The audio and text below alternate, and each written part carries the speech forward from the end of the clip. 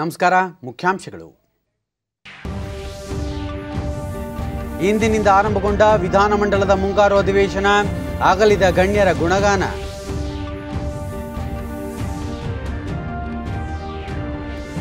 ಗುಜರಾತ್ ನೂತನ ಮುಖ್ಯಮಂತ್ರಿಯಾಗಿ ಭೂಪೇಂದ್ರ ಪಟೇಲ್ ಇಂದು ಪ್ರಮಾಣ ವಚನ.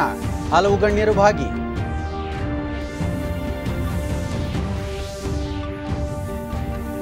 ದೇಶದ ಅಭಿವೃದ್ಧಿ ಪಥದಲ್ಲಿ ಸಂಶೋಧನೆಗಳ ಪಾತ್ರ ಮಹತ್ವದ್ದು. ಎಲ್ಲ ವಲಯಗಳಲ್ಲೂ ನಾವೀನ್ಯತೆಯೊಂದಿಗೆ ಅನ್ವೇಷಣೆ ಅಗತ್ಯ, ಉಪರಾಷ್ಟ್ರಪತಿ ಎಂ ವೆಂಕಯ್ಯನಾಯ್ಡು. ದೇಶದಲ್ಲಿ ಎಪ್ಪತ್ನಾಲ್ಕು ಕೋಟಿಗೂ ಹೆಚ್ಚು ಕೋವಿಡ್ ಲಸಿಕೆ, ಹಲವು ರಾಜ್ಯಗಳಲ್ಲಿ ಶೇಕಡಾ ನೂರರಷ್ಟು ಮೊದಲ ಡೋಸ್ ನೀಡಿಕೆ, ಕೇಂದ್ರ ಸಚಿವ ಮನ್ಸುಖ್ ಮಾಂಡವೀಯ. ವಾರ್ತೆಗಳ ವಿವರ.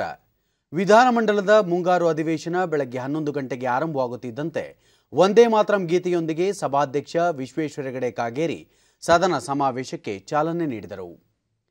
ವಿಶ್ವೇಶ್ವರ ಹೆಗಡೆ ಕಾಗೇರಿ ಅವರು ಅಗಲಿದ ಗಣ್ಯರಿಗೆ ಸಂತಾಪ ಸೂಚಕ ಪ್ರಸ್ತಾಪ ಮಂಡಿಸಿ ನಿರ್ಣಯದ ಕುರಿತು ಮಾತನಾಡಿ ಉತ್ತರ ಪ್ರದೇಶದ ಮಾಜಿ ಮುಖ್ಯಮಂತ್ರಿ ಕಲ್ಯಾಣ್ ಸಿಂಗ್ ಕೇಂದ್ರದ ಮಾಜಿ ಸಚಿವ ಬಾಬಗೌಡ ಪಾಟೀಲ್ ಲೋಕಸಭೆಯ ಮಾಜಿ ಸದಸ್ಯರಾದ G Madegowda S B Sidnal M Rajagopal ರಾಜ್ಯಸಭೆಯ ಮಾಜಿ ಸದಸ್ಯ ಕೆಬಿ ಶಾಣಪ್ಪ ಮಾಜಿ ಸಚಿವರಾಗಿದ್ದ ಪ್ರೊಫೆಸರ್ ಮುಮ್ತಾಜ್ ಅಲಿ ಖಾನ್ ಎಕೆ ಅಬ್ದುಲ್ ಸಮದ್ ವಿಧಾನ ಪರಿಷತ್ ಸದಸ್ಯರಾಗಿದ್ದ ಡಾಕ್ಟರ್ ಸಿದ್ದಲಿಂಗಯ್ಯ ಮಾಜಿ ಶಾಸಕರಾದ Revana Siddappa Kallura Sadashivrao Bapu Saheb Bhosle doctor Chittaranjan Kalkoti doctor Jacob TJ Syed Zulfikar Asmi Mohammed Lokuddin Manohar Kattimani S S Khet Suram Ramaiah Rajashekar Sindhura ಸ್ವಾತಂತ್ರ್ಯ ಹೋರಾಟಗಾರರಾದ H S Doreswamy Kannada ನಿಘಂಟು ತಜ್ಞ professor G Venkatasubbaiah ಹಿರಿಯ ಪತ್ರಕರ್ತ Mahadev Prakash Yakshagana academy ಅಧ್ಯಕ್ಷ professor N A Hegde ಶಿಕ್ಷಣ ತಜ್ಞರಾದ professor MI Savadatti, ಪರಿಸರ ಹೋರಾಟಗಾರ ಸುಂದರ್ಲಾಲ್ ಬಹುಗುಣ, ಕ್ರೀಡಾಪಟು ಮಿಲ್ಕಾ ಸಿಂಗ್, ಚಿತ್ರನಟಿ ಜಯಂತಿ, ಗೋಕರ್ಣ ಪರ್ತಗಾಳಿ ಜೀವೋತ್ತಮ ಮಠಾಧೀಶರಾದ ಶ್ರೀ ವಿದ್ಯಾದಿರಾಜ ತೀರ್ಥ ಶ್ರೀಪಾದ ಒಡೆಯರ್ ಸಾಹಿತಿ ಡಾಕ್ಟರ್ ವಸಂತ ಕುಷ್ಟಗಿ ಅವರಿಗೆ ಸಂತಾಪ ಸೂಚಿಸಿದರು. ಮೃತರ ಸೇವೆಯನ್ನು ಸ್ಮರಿಸಿ ಅಗಲಿದ ಗಣ್ಯರ ನಿಧನದಿಂದ ರಾಜ್ಯಕ್ಕೆ ತುಂಬಲಾರದ ನಷ್ಟವಾಂಟಾಗಿದೆ ಎಂದು ಬಣ್ಣಿಸಿದರು. ಕಾಲೇಜುಗಳ ಬಸ್ ನಿಲ್ದಾಣಗಳ ಸ್ಥಾಪನೆ ಹಾಗೂ ರಾಷ್ಟ್ರೀಯ ಹೆದ್ದಾರಿ ರಾಜ್ಯ ಹೆದ್ದಾರಿಗಳ ನಿರ್ಮಾಣ ಸೇರಿದಂತೆ ಜಿಲ್ಲೆಯ ಸಮಗ್ರ ಅಭಿವೃದ್ಧಿಗಾಗಿ ಅವಿರತವಾಗಿ ಶ್ರಮಿಸಿದ್ದರು. ದಿನಾಂಕ ಎಂಟು ಆರು ಎರಡು ಸಾವಿರದ ಇಪ್ಪತ್ತೊಂದರಂದು ನಿಧನ ಹೊಂದಿರುತ್ತಾರೆ. ಎರಡು ಸಾವಿರದ ನಾಲ್ಕರಿಂದ ಬಾರಿ ಸದಸ್ಯರಾಗಿದ್ದ ಹೆಗ್ಗಳಿಕೆ ಹೊಂದಿದ್ದರು. ವಿಧಾನಸಭೆಯ ಮಾಜಿ ಸಚಿವರಾಗಿದ್ದ ಡಾಕ್ಟರ್ ಜಿ ಮಾದೇಗೌಡ ಅವರು ಕಾವೇರಿ ಹಿತರಕ್ಷಣಾ ವೇದಿಕೆ ಅಧ್ಯಕ್ಷರಾಗಿ ಕಾರ್ಯನಿರ್ವಹಿಸಿದ್ದರು. ಮಂಡ್ಯ ಜಿಲ್ಲೆಯಲ್ಲಿ ಭಾರತಿ ಎಂಬ ಹೆಸರಿನಲ್ಲಿ ಹಲವಾರು ಶಿಕ್ಷಣ ಸಂಸ್ಥೆಗಳನ್ನು, ಸಹಕಾರಿ ಸಂಘಗಳನ್ನು ಸ್ಥಾಪಿಸಿದ್ದು ಮಂಡ್ಯ ಜಿಲ್ಲೆಯನ್ನು ಆರ್ಥಿಕವಾಗಿ, ಶೈಕ್ಷಣಿಕವಾಗಿ, ಧಾರ್ಮಿಕವಾಗಿ, ಸಾಂಸ್ಕೃತಿಕವಾಗಿ ಶ್ರೀಮಂತಗೊಳಿಸಿದ್ದರು. ಶ್ರೀ ಜಿ ಮಾದೇಗೌಡ ಅವರು ದಿನಾಂಕ ಹದಿನೇಳು ಏಳು ಎರಡು ಸಾವಿರದ ಇಪ್ಪತ್ತೊಂದರಂದು ನಿಧನ ಹೊಂದಿರುತ್ತಾರೆ. ವಿಧಾನ ಪರಿಷತ್ತಿನ ಮಾಜಿ ಸದಸ್ಯರಾಗಿದ್ದ ಡಾಕ್ಟರ್ ಸಿದ್ದಲಿಂಗಯ್ಯ ಅವರು ಸಾವಿರಾರು ನದಿಗಳು, ಕಪ್ಪು ಕಾಡಿನ ಹಾಡು, ಮೆರವಣಿಗೆ, ನನ್ನ ಜನ, ಜನನ, ಜನ, ನನ್ನ ಜನಗಳು ಮತ್ತು ಇತರ ಕವಿತೆಗಳು, ಆಯ್ದ ಕವನಗಳು, ಅಲ್ಲೇ ಕುಂತವರು ಮುಂತಾದ ಕವನ ಸಂಕಲಗಳನ್ನು ಏಕಲವ್ಯ, ನೆಲಸಮ ಹಾಗೂ ಪಂಚಮ ನಾಟಕಗಳನ್ನು ಹಕ್ಕಿ, ನೋಟ, ರಸಗಳಿಗೆ, ರಸಗಳಿಗೆಗಳು, ಎಡಬಲ, ಉರಿಕಂಡಾಯ, ಮುಂತಾದ ವಿಮರ್ಶಾ ಕೃತಿಗಳನ್ನು ರಚಿಸಿದ್ದ ಶ್ರೀಯುತರು ಅವರು ದಿನಾಂಕ ಹನ್ನೊಂದು ಆರು ಎರಡು ಸಾವಿರದ ಇಪ್ಪತ್ತೊಂದರ ನಿಧನ ಹೊಂದಿರುತ್ತಾರೆ. ಸ್ವಾತಂತ್ರ್ಯ ಹೋರಾಟಗಾರರಾದ ಎಚ್ ಸಿ ದೊರೆಸ್ವಾಮಿ ಅವರು ಪೌರವಾಣಿ ಎಂಬ ಪತ್ರಿಕೆಯನ್ನು ಸಹ ನಡೆಸುತ್ತಿದ್ದರು. ಸತತವಾಗಿ ಬರವಣಿಗೆಯಲ್ಲಿ ತೊಡಗಿಸಿಕೊಂಡಿದ್ದ ಅವರು, ಭೂಗಳ್ಳರು ಕಬಳಿಸಿದ ಸರ್ಕಾರಿ ಜಮೀನನ್ನು ಉಳಿಸಿದ ಹೋರಾಟ ಎಂಬ ಪುಸ್ತಕವೂ ಸೇರಿದಂತೆ ಹಲವು ಪುಸ್ತಕಗಳನ್ನು ಬರೆದಿದ್ದರು. ನಾಡಿನ ನೆಲ, ಜಲ ನೈಸರ್ಗಿಕ ಸಂಪತ್ತಿನ ರಕ್ಷಣೆ, ಬಡವರ ಧ್ವನಿ, ಇಲ್ಲದವರ ಮಾನವ ಹಕ್ಕುಗಳು ಸೇರಿದಂತೆ ಅನೇಕ ವಿಚಾರಗಳ ಕುರಿತು ಹೈಕೋರ್ಟ್ನಲ್ಲಿ ಸಾರ್ವಜನಿಕ ಹಿತಾಸಕ್ತಿ ಅರ್ಜಿಗಳ ಅರ್ಜಿಗ, ಅರ್ಜಿಗಳನ್ನು ಸಲ್ಲಿಸುವ ಮೂಲಕ ನೊಂದವರಿಗೆ ನ್ಯಾಯ ಕೊಡಿಸುವಲ್ಲಿ ಪ್ರಮುಖ ಪಾತ್ರ ವಹಿಸಿದ್ದರು. ಕನ್ನಡ ನಿಘಂಟು ತಜ್ಞ ಪ್ರೊಫೆಸರ್ ಜಿ. ವೆಂಕಟಸುಬ್ಬಯ್ಯ ಅವರು ಪ್ರಾಧ್ಯಾಪಕರಾಗಿ ಕಾರ್ಯನಿರ್ವಹಿಸಿದ್ದರು. ಶ್ರೀಯುತರು ಭಾಷಾ ತಜ್ಞರಾಗಿ, ಸಂಶೋಧಕರಾಗಿ ಕಾರ್ಯನಿರ್ವಹಿಸಿದ್ದು, ನಿಘಂಟು ರಚನೆ ಕಾರ್ಯದಲ್ಲಿ ತೊಡಗಿಕೊಂಡು ಕಾಯಕ ಜೀವಿ ಎಂದು ಹೆಸರುವಾಸಿಯಾಗಿದ್ದರು. ಹಿರಿಯ ನಟಿ ಶ್ರೀಮತಿ ಜಯಂತಿ ಅವರು ಜೇನುಗೂಡು ಚಿತ್ರದ ಮೂಲಕ ಕನ್ನಡ ರಂಗ ಪ್ರವೇಶಿಸಿದ ಇವರು ಕನ್ನಡ ತೆಲುಗು ತಮಿಳು ಮಲಯಾಳಂ ಹಿಂದಿ ಮರಾಠಿ ಭಾಷೆ ಸೇರಿದಂತೆ ಐದುನೂರಕ್ಕೂ ಹೆಚ್ಚು ಸಾಮಾಜಿಕ ಐತಿಹಾಸಿಕ ಪೌರಾಣಿಕ ಕಾದಂಬರಿ ಆಧಾರ ಆಧಾರಿತ ಚಲನಚಿತ್ರಗಳಲ್ಲಿ ಅಭಿನಯಿಸಿದ್ದ ಇವರು ಅನನ್ಯ ದಿಟ್ಟ ಕಲಾವಿದೆ. ಇದಕ್ಕೆ ಸಭಾನಾಯಕ ಹಾಗೂ ಮುಖ್ಯಮಂತ್ರಿ ಬಸವರಾಜ ಬೊಮ್ಮಾಯಿ ಸಹಮತ ವ್ಯಕ್ತಪಡಿಸಿ ಶ್ರದ್ಧಾಂಜಲಿ ಅರ್ಪಣೆ ಮಾಡಿ. ಕಳೆದ ಅಧಿವೇಶನದಿಂದ ಈ ಅಧಿವೇಶನದ ನಡುವೆ ಹಲವು ಗಣ್ಯರು ಅಗಲಿದ್ದಾರೆ.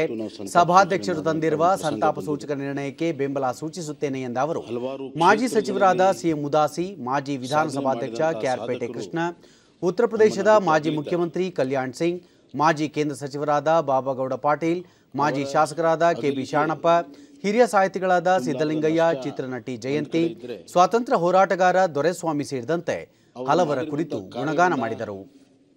ನಾವು ಪುನಃ ನೆನಪು ಮಾಡಿಕೊಳ್ಳುತ್ತಾ, ಹಲವಾರು ವಿಚಾರಗಳಲ್ಲಿ ನಮಗೆ ದಾರಿದೀಪವಾಗಲಿದೆ ಅಂತ ನನ್ನ ಭಾವನೆ. ಇದರ ಬಗ್ಗೆ ನಿಜವಾಗಲೂ ಕೂಡ ಪ್ರತಿಯೊಬ್ಬರ ಬಗ್ಗೆನೂ ಗೌರವ ಸಲ್ಲಿಸುವ ಜೊತೆಗೆ ಅವರು ನಡೆದು ಬಂದ ದಾರಿಯನ್ನು ಕೂಡ ನಾವು ನೆನಪು ಮಾಡಿಕೊಡುವಂಥದ್ದು ಅವಶ್ಯಕತೆ ಇದೆ ಅಂತ ನಾನು ಈ ಸಂದರ್ಭದಲ್ಲಿ ಹೇಳಿ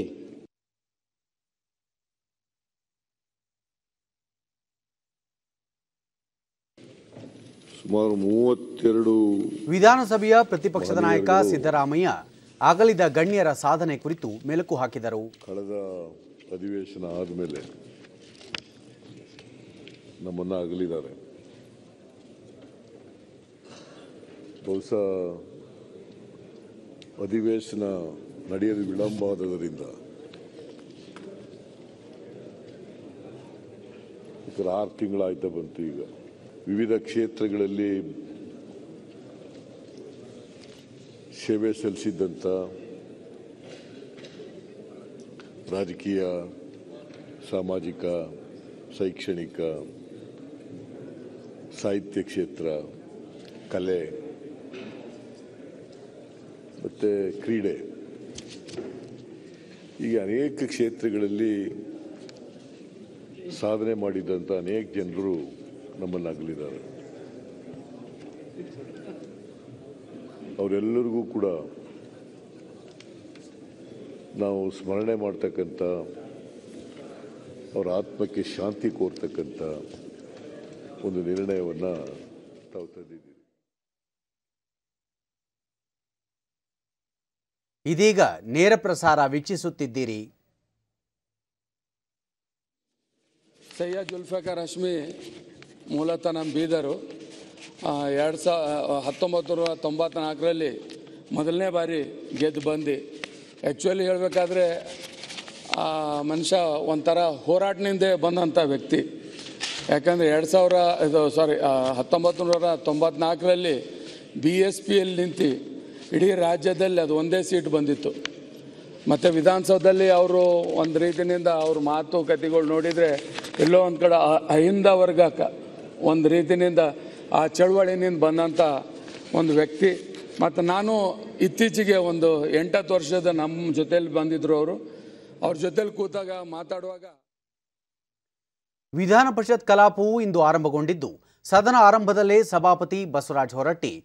ಕಳೆದ ವಿಧಾನಮಂಡಲದ ನಂತರ ಈವರೆಗೆ ಕೋವಿಡ್ ಸೇರಿದಂತೆ ಇತರ ಕಾರಣಗಳಿಗೆ ಮೃತಪಟ್ಟ ಇಪ್ಪತ್ನಾಲ್ಕು ಗಣ್ಯರಿಗೆ ಸಂತಾಪ ಸೂಚಿಸಿದರು. ವಿಧಾನ ಪರಿಷತ್ನ ಮಾಜಿ ಸಚಿವರಾಗಿದ್ದ ಕಮಲಾ ಭೀಮೇಶ್ ಶಾಣಪ್ಪ ಡಾಕ್ಟರ್ ಮುಮ್ತಾಜ್ ಅಲಿ ಖಾನ್ ವಿಧಾನ ಪರಿಷತ್ನ ಮಾಜಿ ಸದಸ್ಯರೂ ಆಗಿದ್ದ ಸಾಹಿತಿ ಡಾಕ್ಟರ್ ಸಿದ್ದಲಿಂಗಯ್ಯ ಸೇರಿದಂತೆ ಹಲವು ಗಣ್ಯರ ಸೇವೆ ಸಾಧನೆಗಳ ಬಗ್ಗೆ ಸುದೀರ್ಘ ವಿವರಣೆ ನೀಡಿ ನಾಡಿಗೆ ಸಲ್ಲಿಸಿದ ಸೇವೆಯನ್ನು ಸ್ಮರಿಸಿದರು. ಅವರ ಅಗಲಿಕೆಯಿಂದ ತುಂಬಲಾರದ ನಷ್ಟವಾಗಿದೆ ಎಂದು ವಿಷಾದಿಸಿದರು. ಕೋವಿಡ್ ಹತ್ತೊಂಬತ್ತು ಸೇರಿದಂತೆ ಇತರ ಕಾರಣಗಳಿಂದ ರಾಜ್ಯ ಹಾಗೂ ರಾಷ್ಟ್ರದ ರಾಜಕೀಯ, ಸಾಹಿತ್ಯ, ಕಲೆ, ವಿಜ್ಞಾನ, ಸಮಾಜ ಸೇವಾ ಕ್ಷೇತ್ರದಲ್ಲಿ ತೊಡಗಿದ್ದ ಹಲವರು ಮೃತಪಟ್ಟಿದ್ದು, ತಮ್ಮ ಜೀವದ ಹಂಗು ತೊರೆದು ಹಗಲಿರುಳು ರೋಗಿಗಳ ಸೇವೆಯಲ್ಲಿ ತೊಡಗಿಕೊಂಡಿದ್ದ ವೈದ್ಯರು ಹಾಗೂ ಶುಶ್ರೂಷಕಿಯರ ನಿಸ್ವಾರ್ಥ ಸೇವೆಯನ್ನು ಸದನ ಗೌರವಿಸುತ್ತದೆ ಎಂದರು. ವಿಶೇಷವಾಗಿ ತಮ್ಮ ಜೀವದ ಹಂಗನ್ನು ತೊರೆದು ಹಗಲಿರುಳು ರೋಗಿಗಳ ಸೇವೆಯಲ್ಲಿ ತಮ್ಮನ್ನು ತೊಡಗಿಸಿಕೊಂಡ ವೈದ್ಯರು ಹಾಗೂ ನರ್ಸ್ಗಳು ನಿಸ್ವಾರ್ಥ ಸೇವೆಗಳನ್ನು ಬಹಳ ಗೌರವದಿಂದ ಈ ಸದನ ಸ್ಮರಿಸುತ್ತದೆ. ಸಹಸ್ರಾರು ನಾಗರಿಕರು ಸಾವನ್ನಪ್ಪಿರುವುದು ಅತ್ಯಂತ ದುಃಖದ ಸಂಗತಿಯಾಗಿದೆ. ಶಾಣಪ್ಪ ಸಭಾನಾಯಕರೂ ಆದ ಸಮಾಜ ಕಲ್ಯಾಣ ಸಚಿವ ಕೋಟಾ ಶ್ರೀನಿವಾಸ ಪೂಜಾರಿ ಅವರು ಸಂತಾಪ ನಿರ್ಣಯಕ್ಕೆ ಧ್ವನಿಗೂಡಿಸಿ ಮೃತರ ಸೇವೆಯನ್ನು ಸ್ಮರಿಸಿದರು. ಸಭಾಪತಿಯವರ ಸುದೀರ್ಘ ಪಟ್ಟಿಯಲ್ಲಿ ಒಂದೆರಡು ಹೆಸರುಗಳನ್ನು ನಾನು ಉಲ್ಲೇಖ ಮಾಡಬೇಕು ಅಂತ ಅನಿಸಿದೆ. ನಮ್ಮ ಮಧ್ಯೆ ಹಲವು ದಿನಗಳ ಕಾಲ ಚರ್ಚೆಯಲ್ಲಿ ಭಾಗವಹಿಸಿ ನಮಗೆ ಮಾರ್ಗದರ್ಶನ ಮಾಡಿದಂಥ ಕೆ ಬಿ ಶರಣಪ್ಪನವರು ನಮಗೊಂದು ಮೆಚ್ಚುಗೆ ನೆನಪು. ಈ ಸದನದಲ್ಲಿ ಅವರು ಮಾಡ್ತಿರುವಂಥ ಭಾಷಣಗಳು, ಅವರು ಕೊಡ್ತಿರುವಂಥ ಮಾರ್ಗದರ್ಶನ, ವಿಧಾನಸಭೆಯ ವಿರೋಧ ಪಕ್ಷದ ಉಪನಾಯಕರಾಗಿ ಅವರ ಕೆಲವು ವಿಚಾರಗಳನ್ನು ಮನ್ನಣೆ ಮಾಡುವಂಥ ರೀತಿ. ತನಗೆ ನ್ಯಾಯ ಸಿಕ್ಕು ತಡ ಆಯಿತು ಅಂತ ಹೇಳಿದಾಗ ಅವರು ಎರಿಗೆ ಬಿದ್ದು ಎಲ್ಲರನ್ನ ಒಟ್ಟುಗೂಡಿಸಿ ಗಟ್ಟಿ ಧ್ವನಿಯೊಂದಿಗೆ ನ್ಯಾಯ ಕೇಳುವಂಥ ಒಂದು ಪರಿಪಾಠ.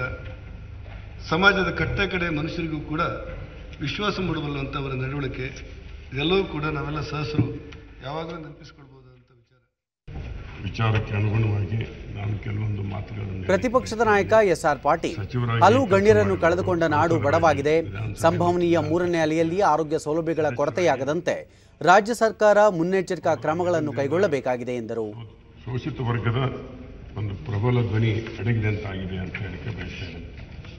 ನಮ್ಮ ಸಭಾನಾಯಕರು ಹೇಳಿದಂಗೆ ಇಲ್ಲೇ ವಿರೋಧ ಪಕ್ಷದ ಉಪನಾಯಕರಾಗಿ ಅತ್ಯಂತ ಸಮರ್ಥವಾಗಿ ವಾದ ಮಂಡಿಸೋದು ನನಗಿನ್ನೂ ನೆನಪಿನಗಳದಲ್ಲಿದೆ.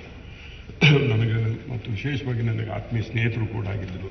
ಒಬ್ಬ ಸಮರ್ಥ ಕಾರ್ಮಿಕ ಮುಖಂಡರಾಗಿ ಗುಜರಾತಿನ ನೂತನ ಮುಖ್ಯಮಂತ್ರಿಯಾಗಿ ಭೂಪೇಂದ್ರ ಪಟೇಲ್ ಅವರು ಇಂದು ಪ್ರಮಾಣ ವಚನ ಸ್ವೀಕರಿಸಲಿದ್ದಾರೆ. ಗುಜರಾತ್ನ ಗಾಂಧಿನಗರದ ರಾಜಭವನದಲ್ಲಿ ಮಧ್ಯಾಹ್ನ ಎರಡು ಇಪ್ಪತ್ತಕ್ಕೆ ರಾಜ್ಯಪಾಲ ಆಚಾರ್ಯ ದೇವವ್ರತ್ ಅವರು ಪ್ರಮಾಣ ವಚನ ಗೌಪ್ಯತೆಯನ್ನು ಬೋಧಿಸಲಿದ್ದಾರೆ. ಭೂಪೇಂದ್ರ ಪಟೇಲ್ ಘಾಟ್ಲೋಡಿಯಾ ಕ್ಷೇತ್ರದ ಶಾಸಕರಾಗಿದ್ದಾರೆ. ಇವರು ಎರಡ್ ಸಾವಿರದ ಹದಿನೇಳರಲ್ಲಿ ನಡೆದ ವಿಧಾನಸಭಾ ಚುನಾವಣೆಯಲ್ಲಿ ತಮ್ಮ ಪ್ರತಿಸ್ಪರ್ಧಿಯ ವಿರುದ್ಧ ಒಂದು ಲಕ್ಷದ ಹದಿನೇಳು ಸಾವಿರ ಮತಗಳ ಭಾರಿ ಅಂತರದಲ್ಲಿ ಜಯ ಸಾಧಿಸಿದ್ದರು. ವಿವಿಧ ನಗರಾಭಿವೃದ್ಧಿ ಮಂಡಳಿಗಳ ಅಧ್ಯಕ್ಷರಾಗಿ ಹಲವು ಸಂಸ್ಥೆಗಳ ಮುಖ್ಯಸ್ಥರಾಗಿ ಸೇವೆ ಸಲ್ಲಿಸಿದ ಅನುಭವವನ್ನು ಹೊಂದಿರುವ ಭೂಪೇಂದ್ರ ಪಟೇಲ್ ಅವರು ನಿನ್ನೆ ಬಿಜೆಪಿ ಶಾಸಕಾಂಗ ಪಕ್ಷದ ನಾಯಕರಾಗಿ ಆಯ್ಕೆಯಾಗಿದ್ದರು. ನಂತರ ಅವರು ರಾಜ್ಯಪಾಲರನ್ನು ಭೇಟಿ ಮಾಡಿ ಹೊಸ ಸರ್ಕಾರ ರಚಿಸುವ ಹಕ್ಕು ಮಂಡಿಸಿದರು. ಪಕ್ಷದ ವರಿಷ್ಠರ ಸೂಚನೆ ಮೇರೆಗೆ ವಿಜಯ್ ರೂಪಾನಿ ಅವರು ಮುಖ್ಯಮಂತ್ರಿ ಸ್ಥಾನಕ್ಕೆ ರಾಜೀನಾಮೆ ನೀಡಿದ್ದರು. ನಂತರ ಮಾತನಾಡಿದ ನಿಯೋಜಿತ ಮುಖ್ಯಮಂತ್ರಿ ಭೂಪೇಂದ್ರ ಪಟೇಲ್ ತಮ್ಮನ್ನು ಗುರುತಿಸಿ ಮುಖ್ಯಮಂತ್ರಿ ಹುದ್ದೆಗೆ ಆಯ್ಕೆ ಮಾಡಿರುವ ಪ್ರಧಾನಿ ನರೇಂದ್ರ ಮೋದಿ ಕೇಂದ್ರ ಗೃಹ ಸಚಿವ ಅಮಿತ್ ಶಾ ಮತ್ತು ಪಕ್ಷದ ರಾಷ್ಟ್ರೀಯ ಅಧ್ಯಕ್ಷ ಜೆಪಿ ನಡ್ಡಾ ಅವರಿಗೆ ಧನ್ಯವಾದ ಅರ್ಪಿಸಿದರು ಪಕ್ಷದ ವರಿಷ್ಠರು ತಮ್ಮ ಮೇಲೆ ಇರಿಸಿರುವ ವಿಶ್ವಾಸವನ್ನು ಉಳಿಸಿಕೊಂಡು ಪಕ್ಷ ಸಂಘಟನೆಯ ಜೊತೆಗೆ ರಾಜ್ಯದ ಅಭಿವೃದ್ಧಿಗೆ ಶ್ರಮಿಸುವುದಾಗಿ ಹೇಳಿದರು मैं तहे दिल से धन्यवाद मानता हूँ मेरे पर जो विश्वास रखा है वो विश्वास को बिना टूटे हुए विकास के जो काम बाकी है वो आगे बढ़ाएंगे और साथ में अ, संगठन को साथ में लेके आगे बढ़ाएंगे ಈ ಮಧ್ಯೆ ಪ್ರಧಾನಿ ನರೇಂದ್ರ ಮೋದಿ ಕೇಂದ್ರ ಗೃಹ ಸಚಿವ ಅಮಿತ್ ಶಾ ಗುಜರಾತ್ನ ನೂತನ ಮುಖ್ಯಮಂತ್ರಿಯಾಗಿ ಆಯ್ಕೆಯಾಗಿರುವ ಭೂಪೇಂದ್ರ ಪಟೇಲ್ ಅವರಿಗೆ ಅಭಿನಂದನೆ ಸಲ್ಲಿಸಿದ್ದಾರೆ ಪ್ರಮಾಣ ವಚನ ಕಾರ್ಯಕ್ರಮದಲ್ಲಿ ಕೇಂದ್ರ ಗೃಹ ಸಚಿವ ಅಮಿತ್ ಶಾ ಮತ್ತು ಮಧ್ಯಪ್ರದೇಶದ ಮುಖ್ಯಮಂತ್ರಿ ಶಿವರಾಜ್ ಸಿಂಗ್ ಚೌಹಾಣ್ ಸೇರಿದಂತೆ ಹಲವು ನಾಯಕರು ಭಾಗಿಯಾಗಲಿದ್ದಾರೆ. ರಾಜ್ಯದ ಮುಖ್ಯಮಂತ್ರಿ ಬಸವರಾಜ ಬೊಮ್ಮಾಯಿ ಅವರು ಇಂದು ವಿಶೇಷ ವಿಮಾನದ ಮೂಲಕ ಗುಜರಾತ್ನ ಗಾಂಧಿನಗರಕ್ಕೆ ತೆರಳಿದರು. ಈ ಸಂದರ್ಭದಲ್ಲಿ ಸಚಿವರಾದ ಅಶೋಕ, ಮುರುಗೇಶ್ ನಿರಾಣಿ ಡಾಕ್ಟರ್ ಕೆ ಸುಧಾಕರ್ ಅವರ ಜೊತೆ ತೆರಳಿದರು. ಉಪರಾಷ್ಟ್ರಪತಿ ಎಂ ವೆಂಕಯ್ಯನಾಯ್ಡು ಅವರು ಪುದುಚೇರಿ ತಾಂತ್ರಿಕ ವಿಶ್ವವಿದ್ಯಾಲಯವನ್ನು ಇಂದು ಲೋಕಾರ್ಪಣೆ ಮಾಡಿದರು. विश्वविद्यालय का उद्घाटन किया उपराष्ट्रपति एम वेंकैया नायडू ने कार्यक्रम को संबोधित करते हुए अनुसंधान के महत्व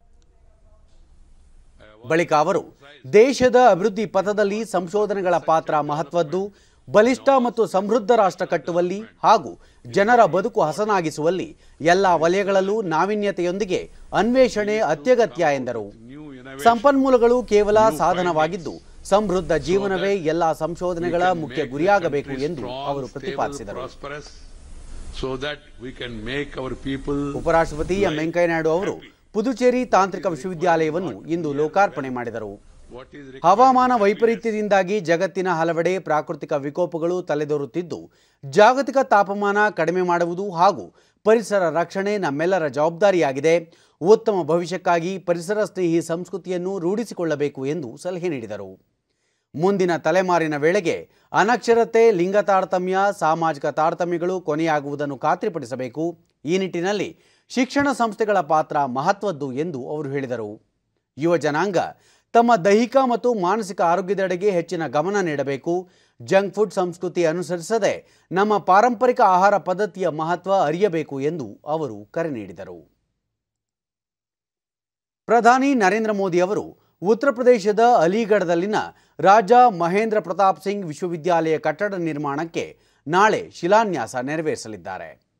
ಖ್ಯಾತ ಸ್ವಾತಂತ್ರ್ಯ ಹೋರಾಟಗಾರ, ಶಿಕ್ಷಣ ತಜ್ಞ ಮತ್ತು ಸಮಾಜ ಸುಧಾರಕ ರಾಜಾ ಮಹೇಂದ್ರ ಪ್ರತಾಪ್ ಸಿಂಗ್ ಅವರ ನೆನಪಿನಲ್ಲಿ ರಾಜ್ಯ ಸರ್ಕಾರ ಈ ವಿಶ್ವವಿದ್ಯಾಲಯ ಸ್ಥಾಪಿಸುತ್ತಿದೆ. ತೊಂಬತ್ತೆರಡು ಎಕರೆ ಪ್ರದೇಶದಲ್ಲಿ ನೂತನ ಕಟ್ಟಡ ನಿರ್ಮಾಣಗೊಳ್ಳಲಿದ್ದು, ಅಲಿಗಢ ಸೇರಿದಂತೆ ನಾಲ್ಕು ಜಿಲ್ಲೆಗಳ ಮುನ್ನೂರ ತೊಂಬತ್ತೈದು ಕಾಲೇಜುಗಳು ಈ ವಿಶ್ವವಿದ್ಯಾಲಯದ ವ್ಯಾಪ್ತಿಗೆ ಬರಲಿವೆ. ಕಾರ್ಯಕ್ರಮದಲ್ಲಿ ಉತ್ತರ ಪ್ರದೇಶದ ಮುಖ್ಯಮಂತ್ರಿ ಯೋಗಿ ಆದಿತ್ಯನಾಥ್ ಪಾಲ್ಗೊಳ್ಳಲಿದ್ದಾರೆ. ಇದಲ್ಲದೆ ಪ್ರಧಾನಿ ನರೇಂದ್ರ ಮೋದಿ ಅವರು ಉತ್ತರ ಪ್ರದೇಶ ರಕ್ಷಣಾ ಕೈಗಾರಿಕಾ ಕಾರಿಡಾರ್ನ ಅಲಿಗಢ ವಿಭಾಗದ ಮಾದರಿ ವಸ್ತು ಪ್ರದರ್ಶನ ಕಾರ್ಯಕ್ರಮದಲ್ಲೂ ಭಾಗವಹಿಸಲಿದ್ದಾರೆ. ಇತ್ತೀಚೆಗೆ ನಡೆದ ಬೆಳಗಾವಿ ಮಹಾನಗರ ಪಾಲಿಕೆ ಚುನಾವಣೆಯಲ್ಲಿ ಜಯಗಳಿಸಿದ ಬಿಜೆಪಿ ಅಭ್ಯರ್ಥಿಗಳಿಗೆ ಮುಖ್ಯಮಂತ್ರಿ ಬಸವರಾಜ ಬೊಮ್ಮಾಯಿ ಬೆಂಗಳೂರಿನಲ್ಲಿಂದು ಅಭಿನಂದನೆ ಸಲ್ಲಿಸಿದರು. ಈ ಸಂದರ್ಭದಲ್ಲಿ ಸಚಿವರಾದ ಗೋವಿಂದ ಕಾರಜೋಳ ಸಿಸಿ ಪಾಟೀಲ್ ಬಿಸಿ ಪಾಟೀಲ್ ಭೈರತಿ ಬಸವರಾಜು ಶಾಸಕರಾದ ಅಭಯ್ ಪಾಟೀಲ್ ಅನಿಲ್ ಬೆನಕೆ ಸೇರಿದಂತೆ ಹಲವರು ಉಪಸ್ಥಿತರಿದ್ದರು. ಒಂದು ಹೊಸ ಆಯಾಮನ ಬೆಳಗಾವಿ ಜನರು ಕೊಟ್ಟಿದ್ದಾರೆ ಹೇಳಲಿಕ್ಕೆ ತಪ್ಪಾಗಲಿಕ್ಕಿಲ್ಲ. ದೇಶದಲ್ಲಿ ಕೋವಿಡ್ ಹತ್ತೊಂಬತ್ತು ಲಸಿಕಾ ಅಭಿಯಾನದ ಮೂಲಕ ಎಪ್ಪತ್ನಾಲ್ಕು ಕೋಟಿಗೂ ಅಧಿಕ ಲಸಿಕೆ ನೀರು ಹಾಕುವ ಮೂಲಕ ಮತ್ತೊಂದು ಮೈಲಿಗಲ್ಲು ದಾಟಿದಂತಾಗಿದೆ.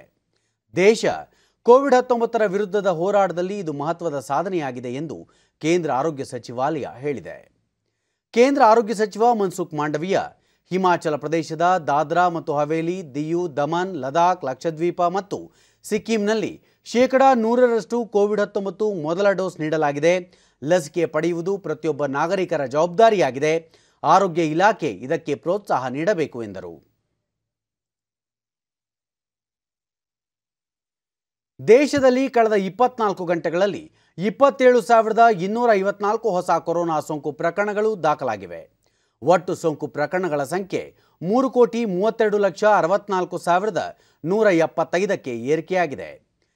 ನಿನ್ನೆ ಒಂದೇ ದಿನ ಮೂವತ್ತೇಳು ಸಾವಿರದ ಆರುನೂರ ಎಂಬತ್ತೇಳು ಮಂದಿ ಆಸ್ಪತ್ರೆಯಿಂದ ಬಿಡುಗಡೆಯಾಗಿದ್ದು, ಇದರೊಂದಿಗೆ ಒಟ್ಟಾರೆ ಗುಣಮುಖರಾದವರ ಸಂಖ್ಯೆ ಮೂರು ಕೋಟಿ ಇಪ್ಪತ್ನಾಲ್ಕು ಲಕ್ಷ ನಲವತ್ತೇಳು ಸಾವಿರದ ಮೂವತ್ತೆರಡಕ್ಕೆ ಹೆಚ್ಚಳವಾಗಿದೆ. ಚೇತರಿಕೆ ಪ್ರಮಾಣ ಶೇಕಡಾ ತೊಂಬತ್ತೇಳು ಪಾಯಿಂಟ್ ಐದು ಒಂದರಷ್ಟಿದೆ. ಒಟ್ಟು ಮೂರು ಲಕ್ಷ ಎಪ್ಪತ್ನಾಲ್ಕು ಸಾವಿರದ ಇನ್ನೂರ ಅರವತ್ತೊಂಬತ್ತು ಸಕ್ರಿಯ ಪ್ರಕರಣಗಳಿವೆ. ಈ ಪ್ರಮಾಣ ಶೇಕಡಾ ಒಂದು ಪಾಯಿಂಟ್ ಒಂದು ಆರರಷ್ಟಿದೆ.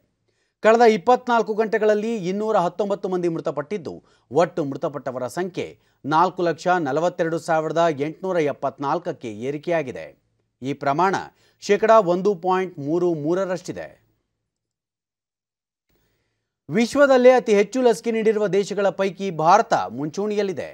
ಇದುವರೆಗೆ ದೇಶಾದ್ಯಂತ ಒಟ್ಟು ಎಪ್ಪತ್ನಾಲ್ಕು ಕೋಟಿ ಮೂವತ್ತೆಂಟು ಲಕ್ಷ ಮೂವತ್ತೇಳು ಸಾವಿರದ ಆರುನೂರ ನಲವತ್ತ್ಮೂರು ಡೋಸ್ ಲಸಿಕೆ ನೀಡಲಾಗಿದೆ. ನಿನ್ನೆ ಒಂದೇ ದಿನ ಐವತ್ಮೂರು ಲಕ್ಷ ಮೂವತ್ತೆಂಟು ಸಾವಿರದ ಒಂಬೈನೂರ ನಲವತ್ತೈದು ಡೋಸ್ ಲಸಿಕೆ ನೀಡಲಾಗಿದೆ ಎಂದು ಕೇಂದ್ರ ಆರೋಗ್ಯ ಸಚಿವಾಲಯ ತಿಳಿಸಿದೆ. ದೇಶದಲ್ಲಿ ಕೊರೋನಾ ಮಾದರಿಗಳ ಪರೀಕ್ಷಾ ಸಾಮರ್ಥ್ಯದಲ್ಲಿ ನಿರಂತರ ಹೆಚ್ಚಳ ಮಾಡಲಾಗುತ್ತಿದ್ದು ಇದುವರೆಗೆ ಒಟ್ಟು ಐವತ್ನಾಲ್ಕು ಕೋಟಿ ಮೂವತ್ತು ಲಕ್ಷ ಹದಿನಾಲ್ಕು ಸಾವಿರದ ಎಪ್ಪತ್ತಾರು ಮಂದಿಗೆ ಕೊರೋನಾ ಮಾದರಿ ಪರೀಕ್ಷೆ ನಡೆಸಲಾಗಿದೆ. ನಿನ್ನೆ ಒಂದೇ ದಿನ ಹನ್ನೆರಡು ಲಕ್ಷ ಎಂಟು ಸಾವಿರದ ಇನ್ನೂರ ನಲವತ್ತೇಳು ಮಂದಿಯ ಮಾದರಿ ಪರೀಕ್ಷಿಸಲಾಗಿದೆ ಎಂದು ಭಾರತೀಯ ವೈದ್ಯಕೀಯ ಸಂಶೋಧನಾ ಮಂಡಳಿ ಐಸಿಎಂಆರ್ ತಿಳಿಸಿದೆ. ಉತ್ತರ ಕನ್ನಡ ಜಿಲ್ಲೆಯ ಹೊನ್ನಾವರ ತಾಲೂಕಿನ ಹಮ್ಮೋಡಿ ಮಾರ್ಗವಾಗಿ ಕವಲಕ್ಕಿಗೆ ಸಂಪರ್ಕ ಕಲ್ಪಿಸುವ ಮೇಲ್ಸೇತುವೆ ದುರಸ್ತಿ ಹಂತ ತಲುಪಿದೆ. ಹೊನ್ನಾವರ ತಾಲೂಕಿನ ಸಾಲ್ಕೋಡ ಗ್ರಾಮದಲ್ಲಿ ಐದು ಸಾವಿರದ ಐನೂರಕ್ಕೂ ಹೆಚ್ಚು ಜನಸಂಖ್ಯೆ ಹಾಗೂ ಒಂದು ಸಾವಿರದ ಮುನ್ನೂರು ಕುಟುಂಬಗಳು ವಾಸವಾಗಿದ್ದು, ಇಲ್ಲಿನ ಜನರು ತಮ್ಮ ದಿನನಿತ್ಯದ ಕೆಲಸಗಳಿಗೆ ಈ ಸೇತುವೆಯನ್ನು ಅವಲಂಬಿಸಿದ್ದಾರೆ. ಕೆಲವು ವರ್ಷಗಳ ಹಿಂದೆ ಸುರಿದ ಭಾರೀ ಮಳೆಯಿಂದ ಈ ಸೇತುವೆ ಕೊಚ್ಚಿ ಹೋಗಿದ್ದು, ಗ್ರಾಮಸ್ಥರು ಅಡಿಕೆ ಮರದ ದಿಮ್ಮಿಗಳನ್ನು ಉಪಯೋಗಿಸಿ ತಾತ್ಕಾಲಿಕ ಸೇತುವೆ ನಿರ್ಮಾಣ ಮಾಡಿದ್ದಾರೆ. ಮಕ್ಕಳು ಸಹ ಈ ಮಾರ್ಗವಾಗಿ ಶಾಲೆಗೆ ತೆರಳಬೇಕಾಗಿದ್ದು, ತೊಂದರೆ ಪಡುವಂತಾಗಿದೆ. ಡಿಡಿ ನ್ಯೂಸ್ನೊಂದಿಗೆ ವಿದ್ಯಾರ್ಥಿ ಮನೀಶ್. ಮಳೆ ಬಂದಾಗ ಮೇಲ್ಸೇತುವೆಯ ಸಂಪರ್ಕ ಕಡಿತಗೊಳ್ಳುತ್ತದೆ. ಇದರಿಂದ ಶಾಲೆಗೆ ಹೋಗಲು ಅಡೆತಡೆ ಉಂಟಾಗುತ್ತದೆ ಎಂದರು. ಇದೊಂದು ಬ್ರಿಡ್ಜ್ ಆದರೆ ಸರ್ಕಾರಕ್ಕೆ ಮನವಿ ಮಾಡ್ತೇವೆ. ಬ್ರಿಡ್ಜ್ನಲ್ಲಿ ಯಾವ ಮಕ್ಕಳು ಸ್ಥಳೀಯ ಮಂಜುನಾಥ್ ಇಲ್ಲಿನ ಸಾಕಷ್ಟು ಜನರು ಈ ಮೇಲ್ಸೇತುವೆ ಮಾರ್ಗವಾಗಿ ತಮ್ಮ ಕೆಲಸಗಳಿಗೆ ತೆರಳಬೇಕಾಗಿದ್ದು ಇದರ ನೂತನ ಸೇತುವೆ ನಿರ್ಮಾಣ ಅಗತ್ಯವಾಗಿದೆ ಎಂದರು. ಆದರೆ ಬ್ರಿಡ್ಜ್ ದಾಟ್ಲಿಕ್ಕೆ ಆಗೋದಿಲ್ಲ ಮಕ್ಕಳ ಅದನ್ನ ಸ್ಕೂಲ್ಗೆ ರಜನೆ ಆಗ್ತದೆ. ಆಮೇಲೆ ಒಮ್ಮೆ ಪೇರೆಂಟ್ಸ್ ಕಳಿಸ್ಕೊಡು ಇಲ್ಲದೆ ಇದ್ರೆ ಪೇರೆಂಟ್ಸ್ ಅವ್ರನ್ನ ಹಳಿ ದಾಟಿಸ್ಕೊಡ್ಬೇಕಾಗ್ತದೆ. ಪೇರೆಂಟ್ಸ್ ಇಲ್ಲದೆ ಇದ್ರು ಮಕ್ಕಳು ಶಾಲೆ ರಜನೆ ಆಗ್ತದೆ. ಆಮೇಲೆ ಇದು ಇದೇ ಬ್ರಿಡ್ಜ್ ಮೇಲೆ ಯಾಕೆ ಇವರು ಹೆಂಗಸರು ಮಕ್ಕಳು ಎಲ್ಲ ಇದೇ ಬ್ರಿಡ್ಜ್ ಮೇಲೆ ಹೋಗ್ತಾರೆ. ಆಮೇಲೆ ಆಮೇಲೆ ಇದು ಕಟ್ಟಿಗೆಗೆ ಆಮೇಲೆ ದರ್ಕ್ಗೆ ಆಮೇಲೆ ಸೊಪ್ಪಿಗೆ ಎಲ್ಲ ವ- ಇದೇ ಬ್ರಿಡ್ಜ್ ನಂಬ್ಕೊಂಡಿದ್ದಾರೆ. ಜನಸಂಖ್ಯೆ ಗ್ರಾಮ ಪಂಚಾಯಿತಿ ಅಧ್ಯಕ್ಷೆ ರಶ್ಮಿ ಹಮ್ಮೋಡಿ ಕವಲಕ್ಕಿ ಮಾರ್ಗವಾಗಿ ಸಂಚರಿಸುವ ಜನರಿಗೆ ತೊಂದರೆಯಾಗಿದ್ದು ಗ್ರಾಮ ಪಂಚಾಯಿತಿ ಕ್ರಮ ಕೈಗೊಳ್ಳಬೇಕಿದೆ ಎಂದು ಹೇಳಿದರು. ಅಂತ ಒಂದು ದಾರಿ ಇದು.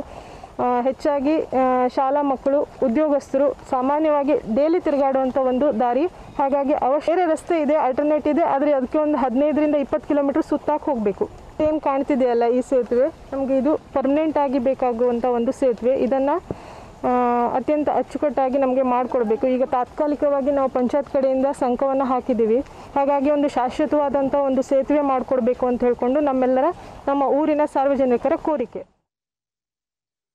ಆಧುನಿಕ ಜಗತ್ತು ಕಂಡಿರುವ ಬಹುದೊಡ್ಡ ಸಂಗ್ರಾಮಗಳಲ್ಲಿ ಭಾರತದ ಸ್ವಾತಂತ್ರ್ಯ ಸಂಗ್ರಾಮವೂ ಒಂದು. ತಾಯ್ನೆಲವನ್ನು ವಿದೇಶಿ ಆಡಳಿತದ ಕಪಿಮುಷ್ಟಿಯಿಂದ ಬಿಡುಗಡೆಗೊಳಿಸುವಲ್ಲಿ ತಮ್ಮ ಸರ್ವಸ್ವವನ್ನು ತ್ಯಾಗ ಮಾಡಿದ ಹಲವು ಮಹನೀಯರು ಹಾಗೂ ಸ್ವಾತಂತ್ರ್ಯ ಸಂಗ್ರಾಮದ ಹಲವು ವಿಷಯಗಳ ಕುರಿತ ವರದಿ ಇಲ್ಲಿದೆ.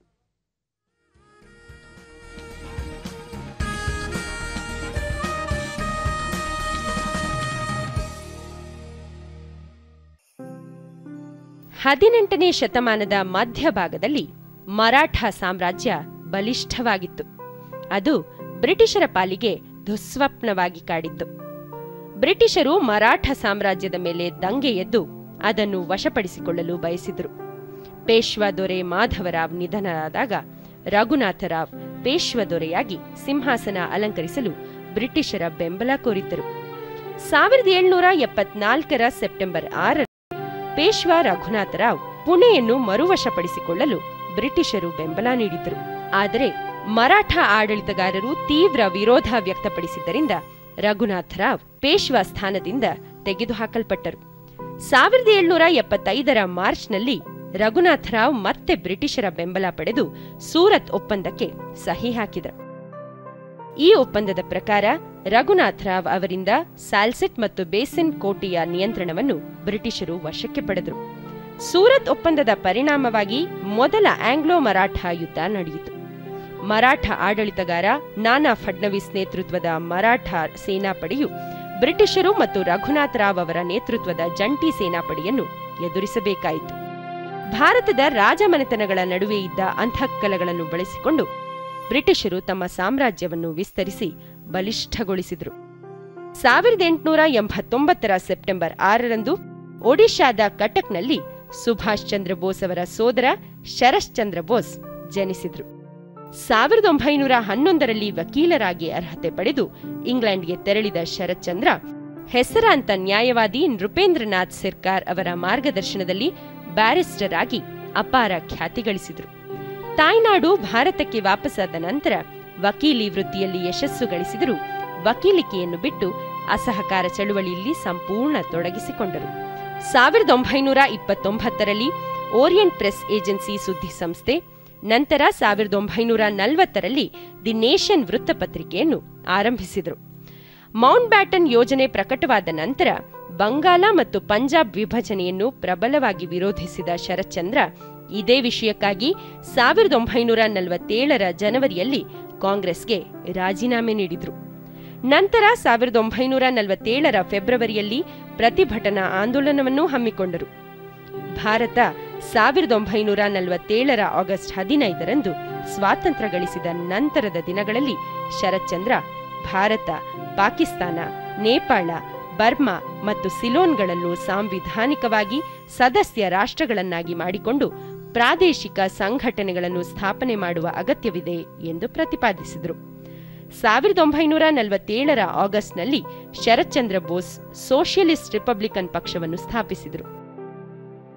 ಸಾವಿರದ ಒಂಬೈನೂರ ನಲವತ್ತೊಂಬತ್ತರಲ್ಲಿ ದೇಶದ ಎಲ್ಲಾ ಸಮಾಜವಾದಿ ಶಕ್ತಿಗಳನ್ನು ಒಂದೇ ವೇದಿಕೆಗೆ ತರಲು ಸಂಯುಕ್ತ ಸಮಾಜವಾದಿ ಸಂಘಟನೆಯನ್ನು ಆರಂಭಿಸಿದರು.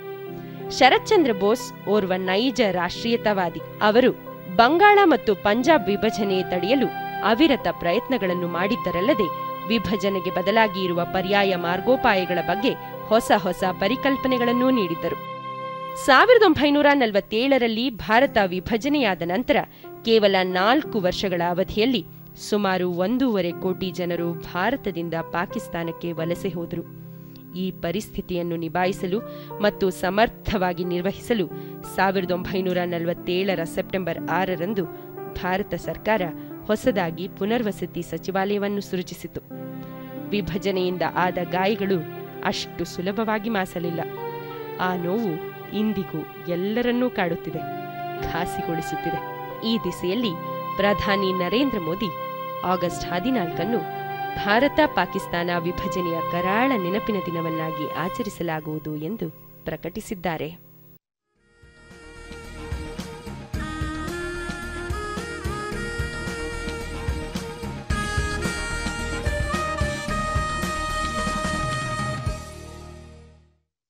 ಕೊನೆಯಲ್ಲಿ ಮತ್ತೊಮ್ಮೆ ಮುಖ್ಯಾಂಶಗಳು. ಇಂದಿನಿಂದ ಆರಂಭಗೊಂಡ ವಿಧಾನಮಂಡಲದ ಮುಂಗಾರು ಅಧಿವೇಶನ ಅಗಲಿದ ಗಣ್ಯರ ಗುಣಗಾನ.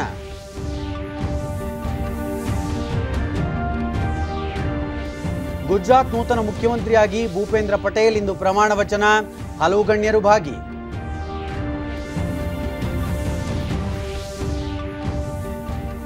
ದೇಶದ ಅಭಿವೃದ್ಧಿ ಪಥದಲ್ಲಿ ಸಂಶೋಧನೆಗಳ ಪಾತ್ರ ಮಹತ್ವದ್ದು ಎಲ್ಲ ವಲಯಗಳಲ್ಲೂ ನಾವೀನ್ಯತೆಯೊಂದಿಗೆ ಅನ್ವೇಷಣೆ ಅಗತ್ಯ, ಉಪರಾಷ್ಟ್ರಪತಿ ಎಂ ವೆಂಕಯ್ಯನಾಯ್ಡು ದೇಶದಲ್ಲಿ ಎಪ್ಪತ್ನಾಲ್ಕು ಕೋಟಿಗೂ ಹೆಚ್ಚು ಕೋವಿಡ್ ಲಸಿಕೆ, ಹಲವು ರಾಜ್ಯಗಳಲ್ಲಿ ಶೇಕಡಾ ನೂರರಷ್ಟು ಮೊದಲ ಡೋಸ್ ನೀಡಿಕೆ, ಕೇಂದ್ರ ಸಚಿವ ಮನ್ಸುಖ್ ಮಾಂಡವೀಯ. ನಮ್ಮ ವಾರ್ತಾ ಪ್ರಸಾರವನ್ನು ನೀವು ಡಿಡಿ ಚಂದನ ನ್ಯೂಸ್ ಯೂಟ್ಯೂಬ್ ಚಾನೆಲ್ನಲ್ಲೂ ವೀಕ್ಷಿಸಬಹುದು.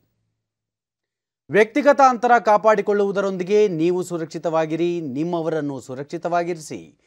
ನೈರ್ಮಲ್ಯಕ್ಕೆ ಆದ್ಯತೆ ನೀಡುವುದರ ಜೊತೆಗೆ ಕೋವಿಡ್ ಹತ್ತೊಂಬತ್ತು ಮಾರ್ಗಸೂಚಿಗಳನ್ನು ತಪ್ಪದೇ ಪಾಲಿಸಿ.